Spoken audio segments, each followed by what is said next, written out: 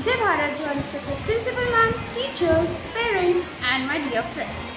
Today on account of Eid al-Adha, the festival of sacrifice, is one of the most important festivals in the Muslim calendar.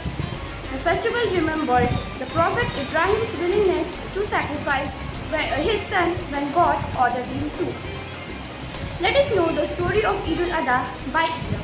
Good morning, respected principal ma'am, teachers, and all my dear friends. Myself, Iram Kotwilkar. Today, on the occasion of Eid al-Azha, I am going to tell information about Eid al-Azha. Why Eid al-Azha is celebrated?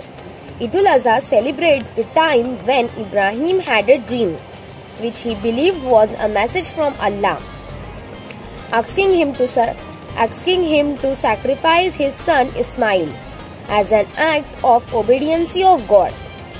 The devil tamed Ibrahim by saying he should disobey Allah and spare his son Ismail.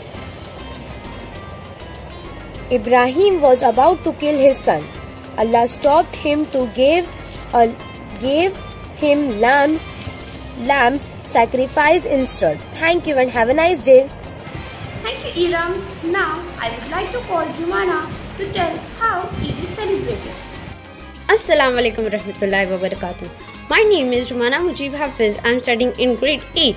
Today I am going to tell how we celebrate Eid. Eid usually starts with Muslim going to mosque for prayers. They dress in the best clothes and thank Allah for all the blessings they have received. It is a time when they visit family and friends. Muslim will also give money to charity so that poor people can also celebrate Eid too.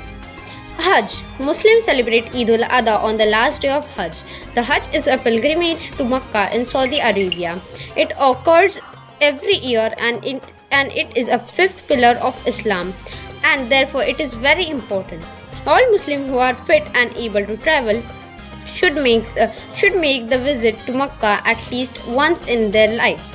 During the Hajj, the pilgrim perform act of worship and renew their faith and sense of purpose in the world. They stand before the Kaaba and shrine built by Ibrahim and praise Allah together. Kaaba. The Kaaba is the most important monument in Islam. Pilgrims walk around the Kaaba seven times and many of them try to touch the black stone located at the corner. Thank you. Have a nice day. Thank you, Jumana. Now, I would like to call Awab to say Takbir. Jai Bharat and happy Eid Mubarak to all my friends. Today I am going to tell you Eid ul Adha Takbir. The Takbir is Allahu Akbar, Allahu Akbar, Allahu Akbar. La ilaha illallah, Wallahu Akbar, Allahu Akbar. Walillahil hamd. The meaning of this takbir is Allah is great, Allah is great. There is no God but Allah. Allah is great, Allah is great. To Him belongs all the praise. Thank you. Have a nice day. Thank you, Awab. Eid is a combination of three meaningful words. E. Embrace with an open heart.